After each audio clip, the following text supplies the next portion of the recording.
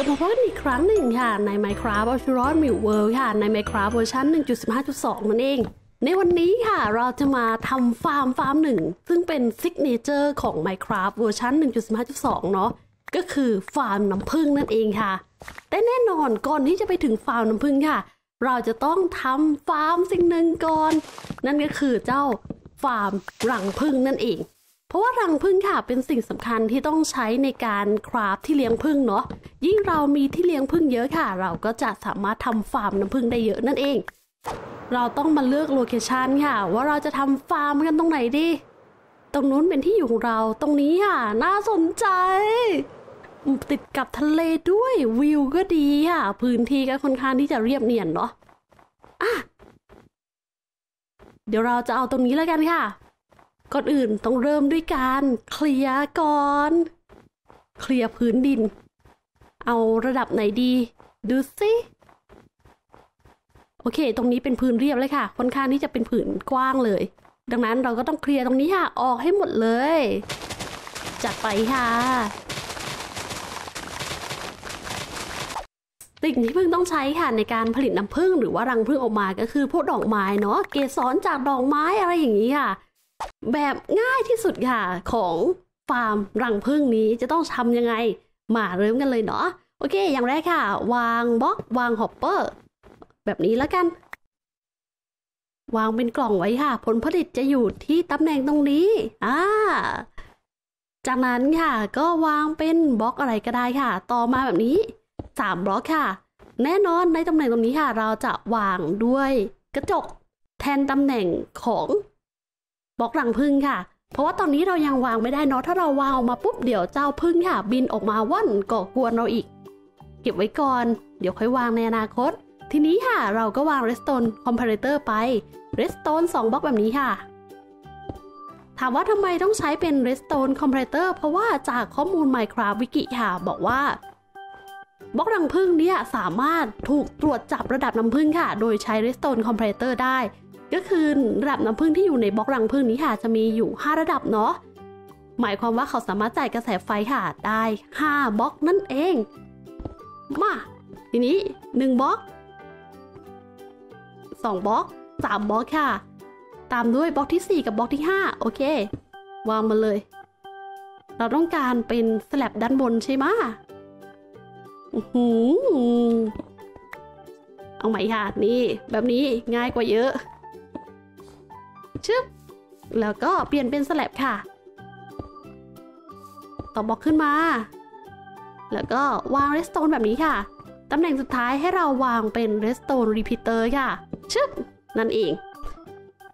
เมื่อน้ำผึ้งมี5เลเวลใช่ไหมก็คือ 1 2 3 4 5 ค่ะเขาสามารถส่งกระแสไฟมาที่ redstone repeater ได้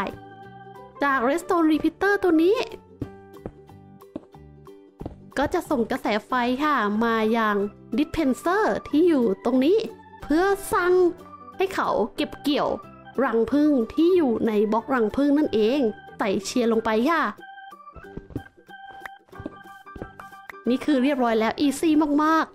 ๆ ตามด้วยกระจกปูปิดไว้เพื่อไม่ให้ผึ้งค่ะ บินออกมาเล่นแบบ รบกวนเราเนาะถึงแม้พึ่งจะน่ารักค่ะ แต่ถ้าเราไปเผลอสกิดเขานี้บอกเลย สิ่งที่โหดน่ากลัวสึกความอันตรายจะเกิดขึ้นอย่างแน่นอนค่ะ โอเค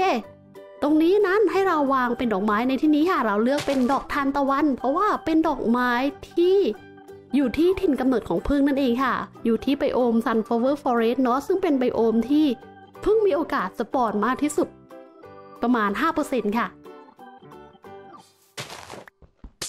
ขุดบอกนี้ก่อน ตามด้วยนี่เลยปุ๊บวางไม้ค่ะ วางดอกทานตะวัน แล้วก็ปูปิดปุ๊บปุ๊บอ่าโครงสร้างเรียบร้อยค่ะ นี่คือโครงสร้างอย่างง่ายที่สุดค่ะของฟาร์มรังผึ้งซึ่งในอนาคตสามารถออกแบบคอมโบเป็นฟาร์มน้ำผึ้งก็ได้นะ แต่เราต้องการรังผึ้งจำนวนมากค่ะ มาเพื่อคราฟเป็นที่เลี้ยงผึ้งก่อนตรงนี้เราสามารถใช้เป็นบล็อกรังผึ้งก็ได้ แต่ถ้าจะให้ดีในอนาคตค่ะก็ต้องใช้เป็นที่เลี้ยงผึ้งนั่นเอง เพราะว่าบล็อกรังผึ้งในธรรมชาติก็ค่อนข้างหายากนิดหนึ่งเนาะนี่ค่ะ รอสักพักพึ่งก็ออกมาแล้ว เขากำลังที่จะเก็บเกสรดอกไม้อะอุ้ยน่ารัก แต่อย่าไปสะกิดเขานะ เดี๋ยวโดนเขารุมต่อยค่ะ นั่นไงกลับเข้าไปคืนละสิ่งที่เกิดขึ้นค่ะนี่เห็นว่ากระแสไฟเพิ่มขึ้น หมายความว่ายังไง หมายความว่าในนี้ค่ะ เริ่มมีน้ำผึ้งแล้ว ถ้าเรากด F3 ค่ะ แล้วดูทางมุมด้านล่างขวาค่ะ จะเห็นว่า honey level 2 เมื่อมันครบเลเวล 5 ค่ะ ก็แปลว่ามีน้ำผึ้งเต็มรังแล้ว ทีนี้ก็พร้อมเก็บเกี่ยวอัตโนมัติด้วย dispenser ค่ะ ที่มีเจ้าเตียอยู่ในนี้นั่นเอง โอ้โห เสร็จเรียบร้อยค่ะ นี่คือรูปแบบที่ง่ายที่สุด แต่เราจะไม่ทำแค่นี้ค่ะ แค่นี้มันง่ายเกินไป มันไม่พอกินไม่พอใช้แน่นอน เริ่มจากฟาร์มที่เรามีค่ะ การต่อเติมไม่ยาก กด shift ค่ะ แล้วก็วาง hopper มาเลย ยิ่งยาวแค่ไหนอะ เราก็สามารถที่จะมีที่เลี้ยงผึ้งแบบมากมายขนาดนั้นได้นั่นเอง นี่ เรียบร้อยตรงนี้ ตามด้วย วางบล็อกลงไปค่ะ ใช้เป็นบล็อกเทราโกต้าสีเหลือง เป็นสีของผึ้งแล้วก็เป็นสีของรังผึ้งอุ้ยดูดีดูดีมาคัดสรรมาอย่างดีค่ะเพื่อความสวยงาม จากนั้นค่ะ ปู redstone ลงไปเลยยาวๆค่ะ ไม่ต้องห่วงว่ากระแสไฟจะเกิดปัญหา เพราะมันไม่มีทางเกิดปัญหาแน่นอน ใช้ระบบเดียวกับการแบบคัดแยก item เนาะค่อนข้างที่จะคล้ายกันค่ะ ชึบชึบการตรวจจับนั่นเอง มาอุ้ยเพิ่งออกมาอีกแล้วนี่น่ารักขอชมก่อน เดี๋ยวค่อยทำฟาร์มต่อ ตัวเองเก็บเกี่ยวเกสรดอกไม้เสร็จแล้ว มีเสียงด้วยนะเนี่ย เสียงแบบกระพือปีกเนาะโอเค กับเข้าสองรอบ ระดับน้ำผึ้งต้องไปเลเวล4 นี่ค่ะมาเลเวล4แล้วพอถึงเลเวล5เมื่อไหร่ก็จะเก็บเกี่ยวอัตโนมัติอุ้ยดีงามค่ะ น่ารักมาก โอเคทำต่อเลยค่ะ วางบล็อกมาใช้เป็น slab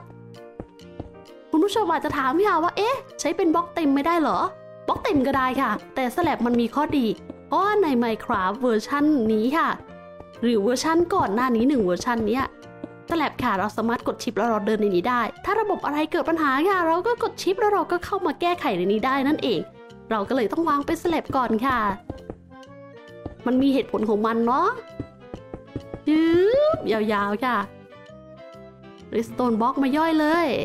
แล้วก็ปูยาวๆมาเลยค่ะ ตามด้วย Redstone Repeater จัดไป เขาสามารถต่อไปได้อีกเป็นร้อยเป็นพันเป็นหมื่นค่ะ อย่าง Infinity เลยนั่นเอง อยากให้ยาวขนาดไหนค่ะ อยากให้ได้ผลผลิตเยอะแค่ไหนก็สามารถทำได้ง่าย ๆ วางบล็อกเลย นี่เราวางบล็อกตัวนี้ค่ะเหตุผลง่ายๆจะได้วาง Dispenser ง่ายๆ นั่นเองมากดชิปแล้วก็วางไปหน้าความทุกตัวค่ะ อุ๊ยอืมต้องวางด้านไหนก่อน โอเค เรียบร้อย อุ๊ยพึ่งมาพึ่งมาคำว่าพึ่งมานี้มันมันเป็นคำแบบ มีสองความหมายเนาะพึ่งออกมาแล้ว กับพึ่งมาถึงอะไรอย่างเงี้ยเรารออะไรคะเรารอดูค่ะ รอดูการทำงานเพราะว่า รอบนี้ค่ะ มันจะมีการเก็บเกี่ยวอัตโนมัติเกิดขึ้นละอ้าวเก็บเกี่ยวไปแล้วนี่ อะ ดูไม่ทันค่ะ เก็บเกี่ยวมาแล้วนี่เราก็ได้เป็น Honeycomb ค่ะ หรือเรียกง่าย ๆ ก็คือรังผึ้งนั่นเองใส่เข้าตัวมา Quest Complete ค่ะ ไม่ใช่ Recipe Unlock ค่ะ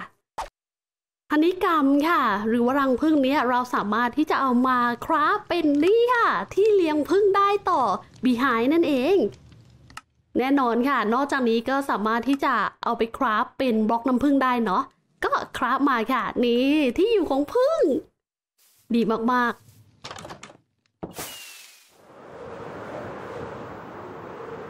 บีไฮนี้เราก็สามารถที่จะเอามาวางในตำแหน่งนี้ค่ะ แทนเจ้าบีเน็ตได้นั่นเอง โอเค แต่ถ้าเราเลี้ยงแบบนี้ใช่ไหมแล้วเราให้ดอกไม้เพียงแค่หนึ่งต้นอะไรอย่างนี้มันก็ใจร้ายเกินไป เราจะให้ดอกไม้สักสามต้นแล้วกันค่ะ เอาด้านหน้าให้กว้างนิดนึงเพิ่งจะได้มีที่แบบ ในการบินเล่นออกกำลังกายอะไรอย่างเงี้ยเออคิดถึงแบบจิตใจเขาจิตใจเรา ตรงนี้จะปูดอกไม้ให้เพียบไปเลยค่ะ คือแบบทำฟาร์มที่จะเน้นแบบขุดรีน้องไม่เราจะให้พึ่งค่ะ อยู่แบบมีความสุขนั่นเองแฮปปี้ชีวิตดีดีๆอะไรประมาณนี้ค่ะปิดไว้ก่อนหนึ่งสองสามสี่ห้าหกเจ็ดแปดเก้าสิบสิบเอ็ดสิบสองโอเคสิบสองค่ะณตอนนี้ วางมา แล้วก็ นี่เลย เตรียมตัวค่ะ ควรที่จะวางตอนคืนเพราะว่าพึ่งจะไม่ออกยามค่ำคืนนั่นเองโอ้อู้อู้ตกใจ เพิ่งบอกว่ายังไม่ออก จะไม่ออกยามกลางคืน แต่ก็ดันออกมา โอเค ตอนนี้ยังไม่กลางคืนค่ะวันอาที่ยังไม่ตกดินเนาะโอ้ยอย่างตกใจ นี่อะโอเค เรียบร้อยจากนั้นเราถือดอกไม้ไว้ในมือวัดดีพึ่งก็จะมาตอมที่เท้าเราค่ะ ไม่ใช่แล้วแล้วเราก็ให้ดอกไม้ค่ะ เพื่อผสมพันธุ์พึ่งสองตัวให้เกิดลูกพึ่งตัวใหม่ขึ้นมาปิ๊งปิ๊งปิ๊งปิ๊งนี่ไงลูกพึ่งตัวน้อยค่ะนี่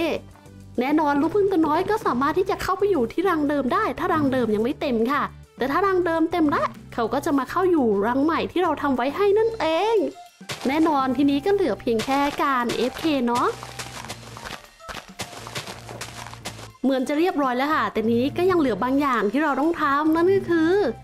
การเติม Shears อัตโนมัตินั่นเองค่ะ โอเค ก็ปกติเราจะเรียก Shears ว่าที่ตัดขนแกะเนาะแต่ในที่นี้มันคือ ที่เก็บเกี่ยวรังผึ้งค่ะ โอเค มาวางเลย เรามี Hopper เยอะค่ะ ดังนั้นก็ใช้ Hopper แล้วกัน พอดีว่ามี Hopper แบบเหลือเฟือเหลือใช้อะ มีเหล็กแบบมากมายมหาศาล ขอบคุณอานิสงส์ที่เราทำฟาร์มตั้งแต่ Minecraft เวอร์ชัน1.4.4 ค่ะ ที่จะทำให้เราได้เหล็กวันละแสนก้อนเลย ตอนนี้เหล็กมีเหลือกินเหลือใช้ Hopper นี่แหละ ไม่เปลืองเหล็กแน่นอน แล้วไม่ต้องกังวลค่ะว่าจะ lag เพราะว่า ตอนนี้ Minecraft มันเป็นเกมที่พัฒนาไปเยอะแล้วค่ะ มันแทบจะไม่ lag จาก Hopper แล้ว ถ้าเป็นแบบ Minecraft เวอร์ชันรุ่นก่อนๆอะไรอย่างนี้เนาะใช้ Hopper เยอะอะไรอย่างนี้ค่ะ ก็อาจจะทำให้ lag ได้ แต่ทุกวันนี้ไม่ใช่ละ วันนี้ค่ะ ไม่ว่ายังไงมันก็ลื่น ไม่ต้องห่วงกังวลเรื่องความ lag เลย ชิวๆมากๆค่ะอึ๊บอืออึ๊บโอเควางได้แล้ว โอเค โอ้ยกว่าจะวางได้ นี่แหละ ตรงนี้เอาไว้ใส่เชียร์ค่ะ เอาบล็อกเหล็กค่ะมาย่อยแล้วก็คราฟเป็นเชียร์ปุ๊บแล้วก็ใส่เข้าไปในนี้อะนี่ย่อยทีละกองพอละอย่าย่อยเยอะค่ะ เดี๋ยวช่องว่างในตัวจะไม่มีอะใส่เข้าไป ช่วงแรกจะใช้เชียร์เยอะหน่อยค่ะ เพราะว่าเชียร์จะต้องไปสแต็กในตามแต่ละ Hopper ที่อยู่ตรงนี้เนาะแต่ก็ไม่เป็นไรค่ะ เหล็กมีเยอะเหลือกินเหลือใช้ โยนทิ้งเล่นอย่างได้ แต่เราก็ไม่ควรที่จะทิ้งขว้างใช่ไหมเหล็กมันก็ของหายากนิดนึงแล้วนะ แบบในแต่ก่อนนะคะทุกวันนี้เหล็กเหลือเฟือ เอามาปูเป็นทางเดินเท้ายังได้เลยอะ มีปัญหาบางอย่างเกิดขึ้นค่ะ ปัญหาคือ เจ้าดอกไม้นี้ค่ะ มันสูงเกินไป มันบังอะคือแบบจะผสมพันธุ์พึ่งอะไรอย่างนี้ค่ะลำบากพี่มาแล้วจะแบบเอา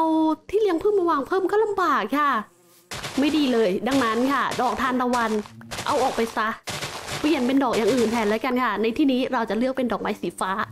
เพราะมันเป็นดอกไม้ที่เรามีค่ะ แล้วเป็นดอกไม้ที่สามารถทำฟาร์มเพื่อหามาได้ ฟาร์มดอกไม้สีฟ้าในไบโอมหนองน้ำนั่นเอง อย่าได้ถามค่ะว่าสร้างไว้ตอนไหนก็จำไม่ได้เหมือนกันมันนานมากๆแล้วค่ะ น่าจะนานมากๆแล้วแหละ น่าจะ Minecraft เวอร์ชัน1.13.2 มั้ง โอเค ดอกไม้สีฟ้าไม่รก อ่าไม่สูงไม่บางค่ะถือว่าใช้ได้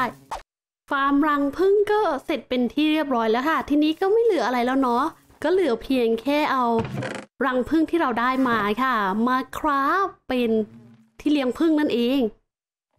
นี้ค่ะ แล้วก็เหลือเอาดอกไม้ไปให้พึ่งอ้าวอืมโอ้ยังไม่โตอะ โตอยู่ตัวเดียวกัน อย่าเพิ่งเอาให้แล้วกันกดกระจกออกค่ะ กดชิปแล้วก็วางแบบนี้ ไม่ต้องกดชิปแล้วก็วางได้ไหม นี่ ค่อยๆขยายค่ะ เพิ่มเติมไปเรื่อยๆ นี่เห็นว่า